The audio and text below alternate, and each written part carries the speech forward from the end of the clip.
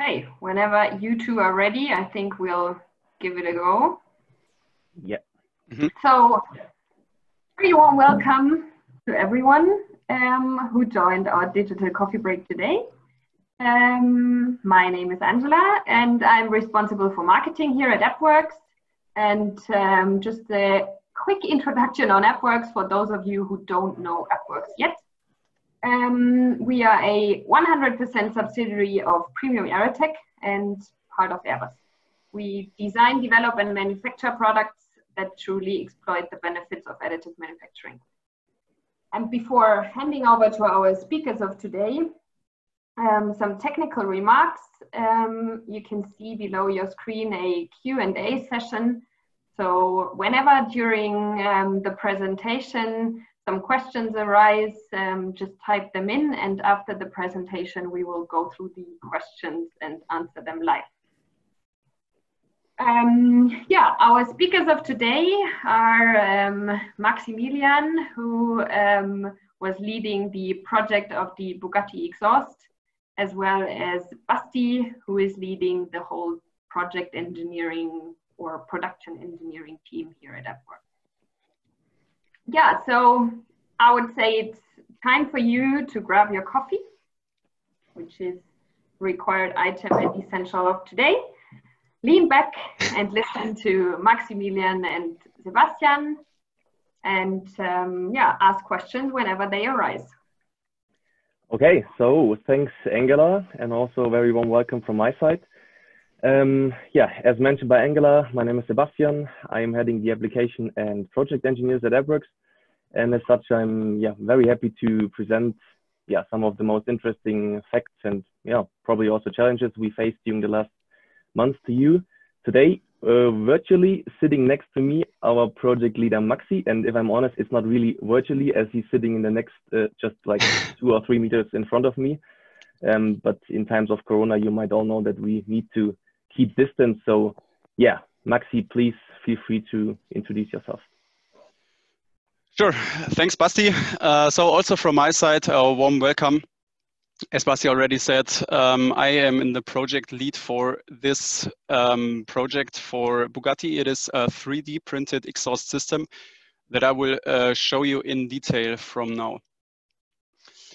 Okay, um, just to start right off from the first slide, uh, what we actually are doing here. We are producing a 3D printed exhaust from uh, titanium, which is a high performance material in additive manufacturing. Uh, compared to the previous parts that Bugatti was producing on their Chiron, we uh, were able to uh, generate a 39% weight reduction on this. The purpose of the part is uh, mainly to streamline the exhaust flow and to support the rear downforce, which is um, not too low for cars of this speed actually. So the part um, has a lot of technical and optical details that we, um, Angela, can you do the next slide? okay, great. Uh, for you to actually see where the part is located on um, the car, you can see uh, the marketing video that Bugatti published, and I see you already can see where the part sits.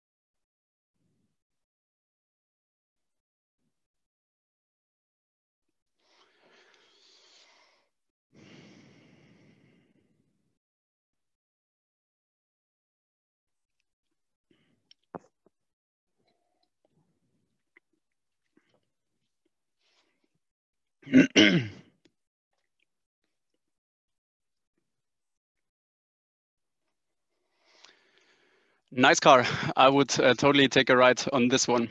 So uh, let's take a look at the technical details. Why did we use additive manufacturing and uh, not something else? Basically, with this part, we're exploiting all the benefits of additive manufacturing we designed a very lightweight optimized uh, geometry with this part that would not be possible with any conventional um, manufacturing methods. We're using the freedom of design that we're basically having by the layer-based manufacturing. We also have functional styling. So some um, features of the parts that you will see do not only uh, look nice, they also have some uh, technical features that provides a lot of advantages to us.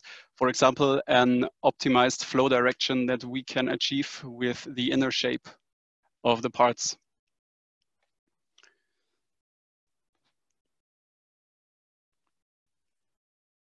Speaking of the design, we uh, really deep dived into application engineering for this part. So for example, we do achieve wall thickness of uh, less than 0.5 millimeters for those who are experienced in the um, laser-based additive manufacturing processes will know that this is a pretty uh, low thickness and we were uh, able to achieve that throughout the whole part to actually achieve that, we were using a lot of parameter optimization for the part and the support.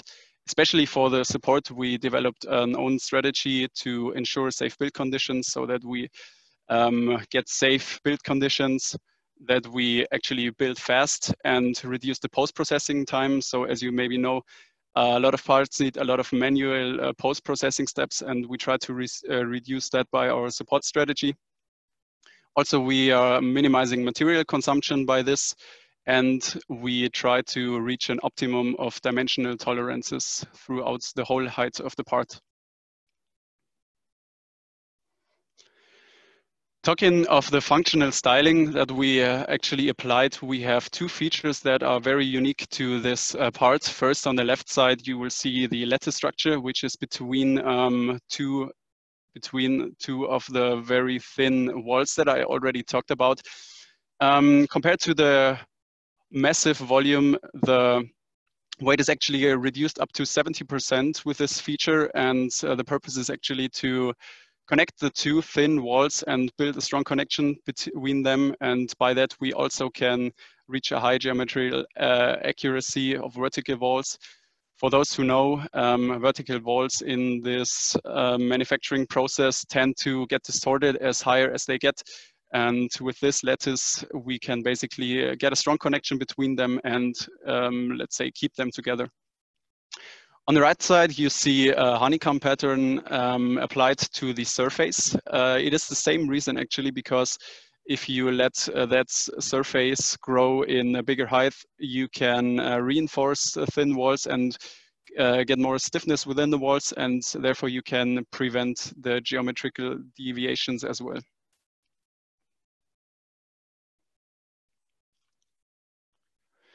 Talking about the material and the process, we are using um, titanium as a material, which is pretty uh, wide used as a material for that additive manufacturing process. It is lightweight, but still has very good mechanical properties, which you can uh, see on the left side, which is uh, the reason why that is often used in many different industries, as for example, automotive or aerospace or medical um, industries. Uh, the part is actually produced on an EOS M404, the Quattro system, which is an ultra-fast quad laser system um, from our friends in uh, Krailling. Um, with this, we can produce thin walls and complex shapes. Um, those can be adapted to other applications. So heat exchangers and all the thermal management systems are pretty uh, interesting for these also. And speaking of the material, um, alternatives. Some parts of these industries and also heat-loaded parts are also built with um, nickel alloys. That really depends on your requirements to heat resistance uh, and mechanical properties to choose which material you actually want to take in the end.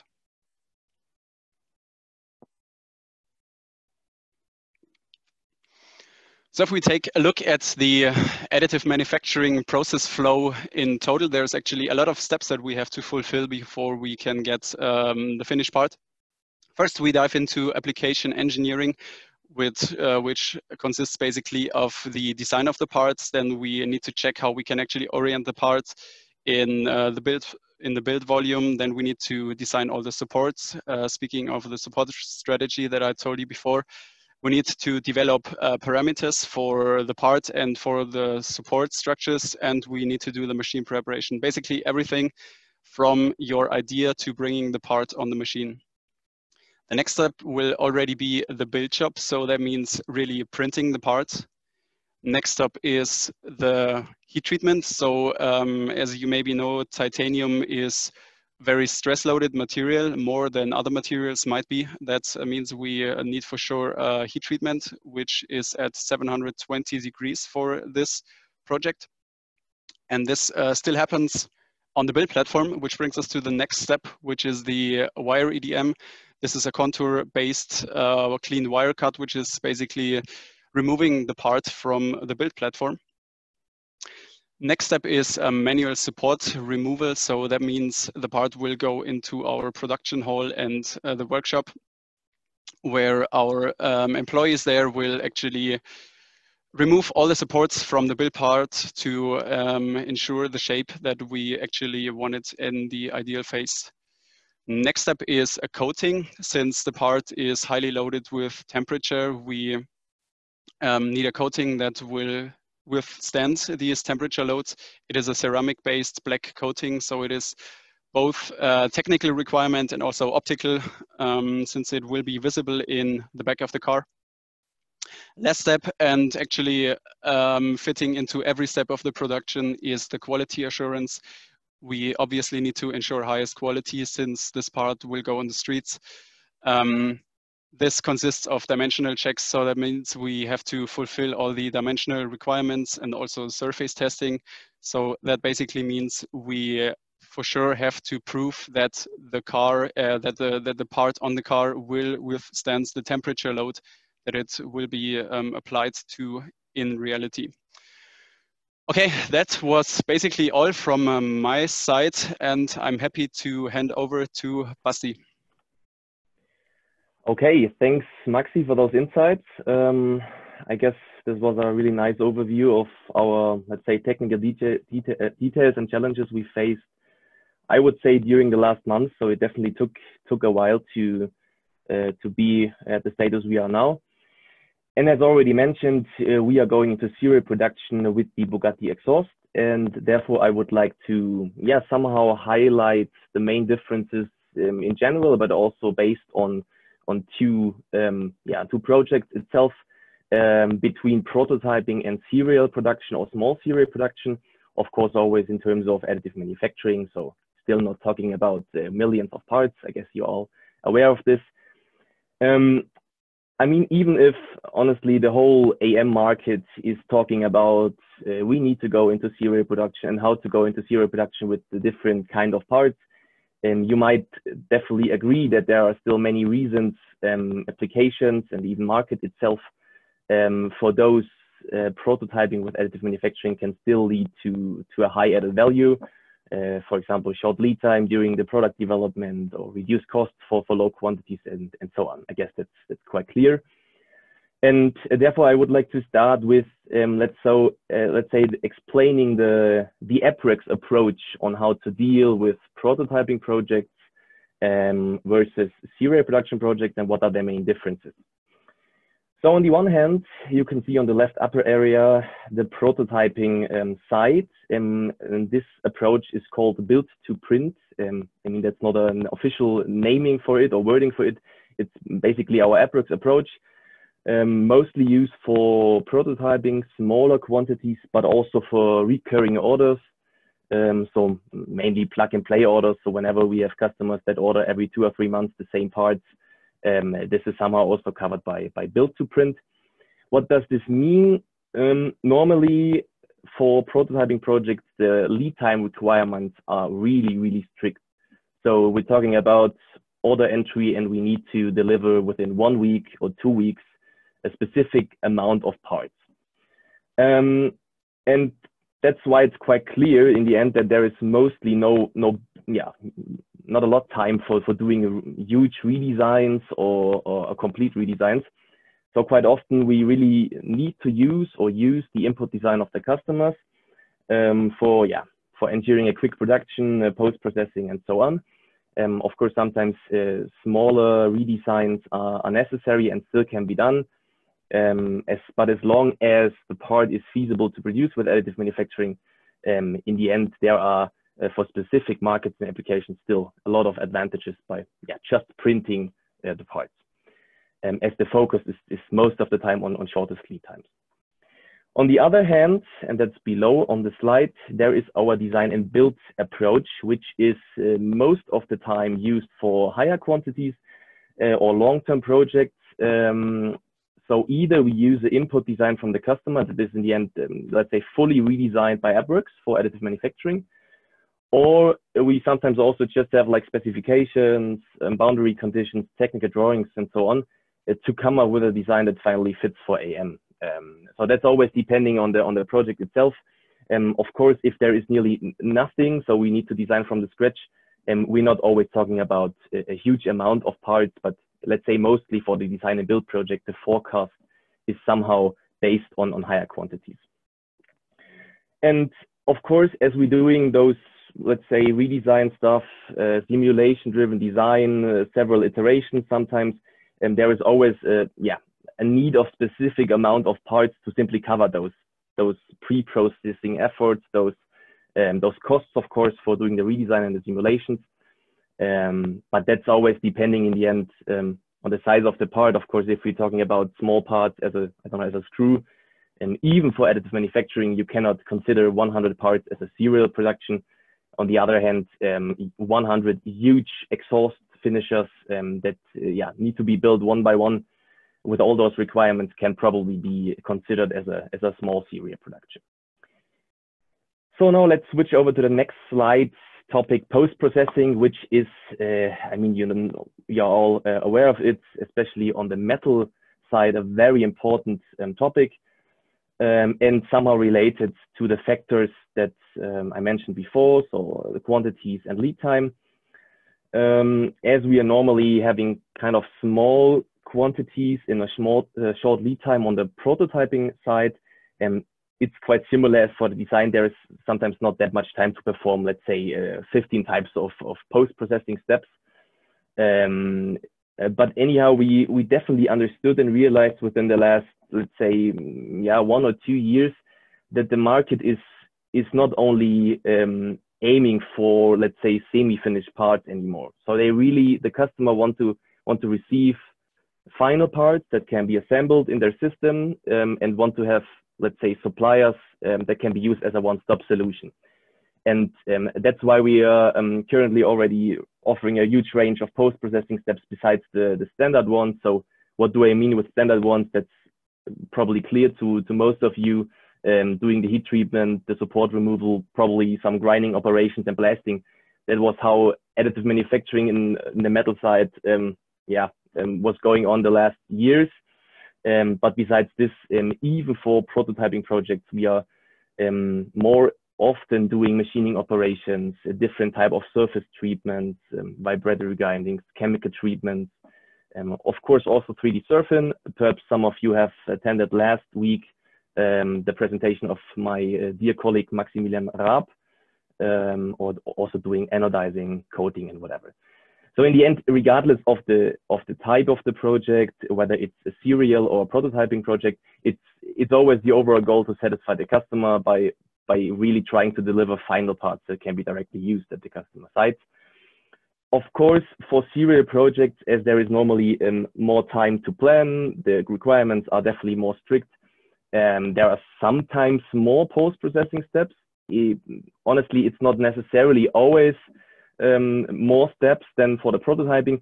But of course, for serial projects, you always need to um, think of how to optimize those post processings, um, how to minimize the risk during the manual support removal. This was especially one one big topic during the the prototyping phase uh, for the for the Bugatti Chiron. And all of those uh, post processing steps are, of course, somehow depending on the requirements. And um, I, I won't go into, into the detail of all our, let's say, background activities that are based on the ISO 9100 certifications. Um, I mean, you're probably aware of it, that there's uh, a lot of a lot to do um, and a lot to ensure in the background. Um, let's say that the general standard quality assurances that are mostly used also for prototyping projects are um, kind of 3D scanning, um, sometimes CT scanning for, for, for inspection or for inspecting internal channels, for example. Of course, visual inspections, measurement protocols for, for machining operations, leak tests, tensile tests, and so on. Um, that's basically the standard. Um, but again, regardless of the of the type of the project, it's always um, depending on the customer requirements and can always be extended, of course, um, based on on the customer requirements. Um, but anyhow, as I said, for prototyping projects or these, um, as we call build to print projects, um, it's uh, mostly the case that there is not that much time to, for example, perform huge first article inspections or PPAPs for the automotive sector. And um, even for the Bugatti project, of course, the prototypes we delivered last years were in the end not used for, for mounting on the customer cars So that's quite obvious that the QA requirements are, are somehow lower than for the serial production. On the serial production, it's basically, um, yeah, especially in the, in the during the qualification phase or period, it's definitely a huge effort. I mean, it's uh, Maximilian is is aware of it. He's he's struggling since uh, probably beginning of this year with all these uh, qualification topics. It's definitely a huge challenge. Um, in the end, it's uh, according to the standards of the automotive OEMs. In this case, it's it's, it's Volkswagen. You always need to perform uh, and go through a sampling process.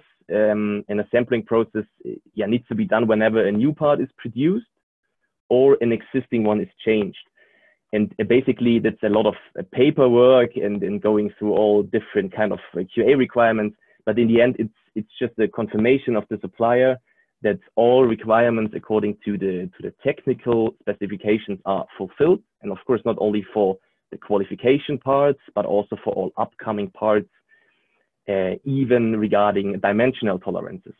So, and as you have seen uh, the part itself, and Maxi mentioned some of the technical details, you can probably um, um, yeah, understand the, the challenges we had, especially regarding dimensional tolerances as for thin walled parts like this, building with additive manufacturing, um, the challenges regarding, let's say, distortions are really, really tough.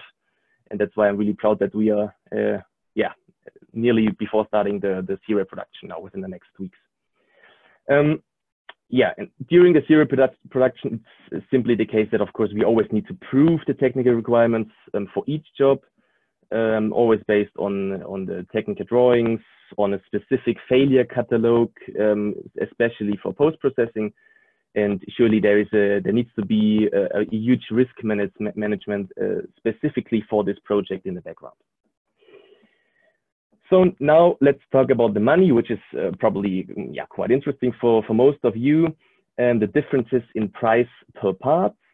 Um, I mean, of course, I cannot give you the the real uh, figures um, what uh, these these Bugatti exhausts cost, but I I would like to emphasize that the costs per part are normally really highly reduced for higher quantities. Um, so compared uh, prototyping versus serial production, that's basically caused by, let's say, all the non-recurring efforts you need to have during the prototyping phase. So um, let's say the, all the development efforts for parameter development, um, support development, doing all the design stuff, um, which definitely took some, some weeks and months in the last year. Um, if you have machining operations included, the, the programming uh, or the tooling or whatever. Um, and even in this case, um, as we are only, even though we are only possible to, let's say, to fit one one part on the build platform, um, even this case, um, let's say we're always talking about, or sometimes talking about 50% or even more reduction um, compared to, to prototyping. And to finish this slide, uh, two examples. I mean, we talked about a lot about the, the Bugatti Chiron Pur Sport, which is more on the serial production perspective, but we also uh, were really happy to build the first prototypes of the Bugatti um, Chiron Supersport last year. Um, you might have seen it on the Formnext as well. Um, those um, yeah exhaust finishers were directly mounted on the part uh, on the car. Uh, I guess it, it, definitely could be considered as a one-stop solution. Uh, I guess we had like two weeks and we directly shipped the part to the to the racetrack, so it was kind of challenging. Uh, but in the end, this car broke the world record with uh, 300 miles per hour with our exhaust uh, printed at APWORKS. So yeah, definitely kind of proud. Okay, so that's basically it to the comparison. Um, here you can see again uh, a nice picture of the um, of the exhaust mounted on the Chiron Pur Sport. I hope the last uh, minutes gave you a nice overview of the current projects, uh, of the challenges we definitely faced during the last month, of our USPs for the exhaust and why we used additive manufacturing, and of course, why Bugatti perhaps decided to go with APWORKS. Um, we talked about the design freedom, how to implement those, uh, or this freedom in a suitable design for AM. Uh, Maxi explained the weight saving and on all the, let's say, the impact of the weight saving on the steering behavior, uh, possible advantages of using Ti 6.4 with AM, but also that it's always depending on the customer and um, similar projects are running on, on uh, nickel alloys and so on and so on. So a lot of technical details and we might be able to answer some of those um, afterwards. Um, but as you can see on the picture, um, have a final look on the exhausts mounted on the, on the car. In my opinion, it's really stunning. Um, and to finish the presentation, I would like to, to quote the founder of Bugatti, Mr. Ettore Bugatti, who once said, an automobile component must be technically perfect, but it must be elegant and beautiful too. So I guess we definitely achieve both requirements, um, not only the technical ones, but also the, the aesthetic ones quite well. That's it. Um, I'm happy to answer your questions. So feel free to use the Q&A field. Um, and then let's start with all the open questions. Thanks. Okay, then let's start. So first question um, by Paul O. Um, what is the absolute weight of the parts? Maxi, I guess you are, you can give mm -hmm. a, an answer also of the, let's say, the, the full assembly. Uh, yeah, sure. The full assembly. So um, there's some additional parts um, assembled to the to the exhaust finisher, um, and in total we are roughly below two kilograms. Okay, thanks. Okay, yeah, I would also take the next question that I see here from uh, Peter Rogers. Hi, mate. Uh, considering the incredibly thin walls, well done. Thanks, Peter. what were some of the unique support techniques used in this part? Um, good question. So that basically can be spread on two sides. One is the geometrical side of the supports, so how you do design the support structures, and the other one is which parameters do you use? So basically, you have to find a good combination between um, how the supports look and how they are bound to the part, or maybe even not bound, and, and just support the structure and the uh, um, power that you actually apply to these uh, support structures. Okay, then next question. Um, Michael Sattler asks how many uh, parts do we fit on a platform? I guess we already somehow answered this. Um, so as we're using the M404 with the uh, volume of 400, 400 times approximately 370, the EOS guys might know this uh, this little issue in the marketing. Um, we're only fitting one part per platform, but um, to be honest, that's uh, that's totally fine for us as um, the whole job takes about 24 hours. So and even from a let's say production planning perspective that's that's really perfect for us because we can really uh, yeah build like five parts per week uh, without the uh, weekend. So that's quite nice.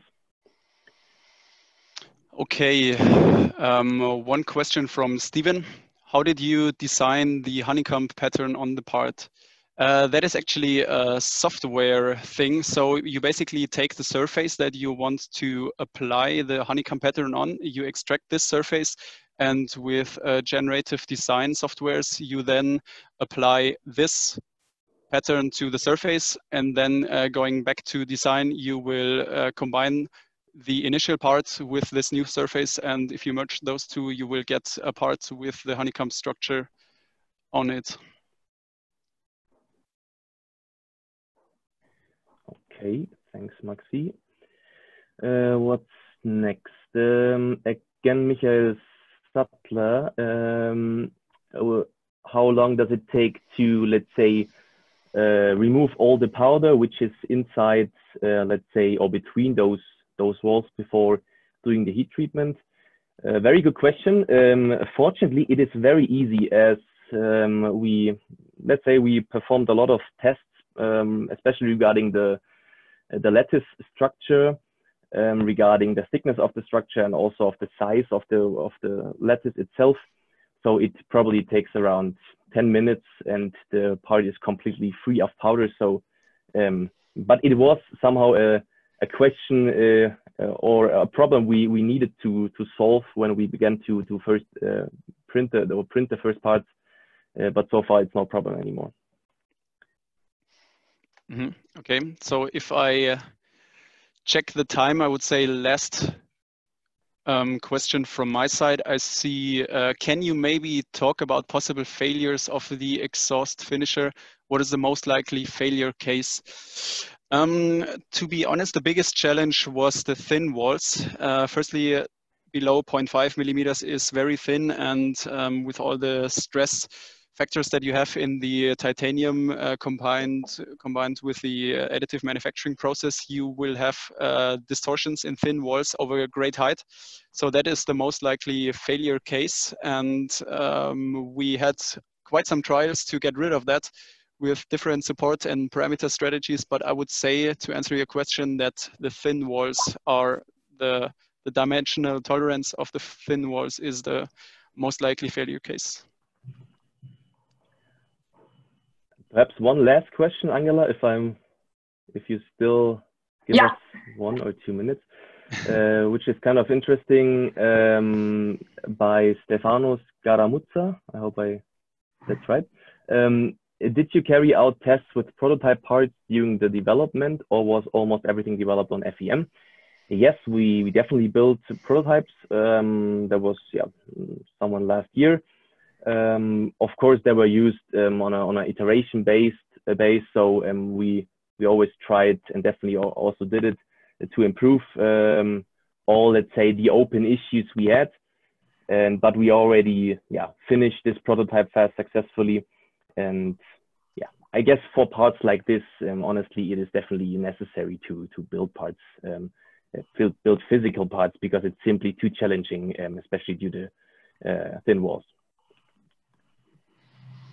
Okay, so I'm playing the bad guy. You will just get uh, one minute. Oh, so choose Oh, so one more question. Um, okay, what do we have here? That is answered. Perhaps by uh, Wolfgang Käfer, what is the planned number of parts oh, yeah. over lifetime?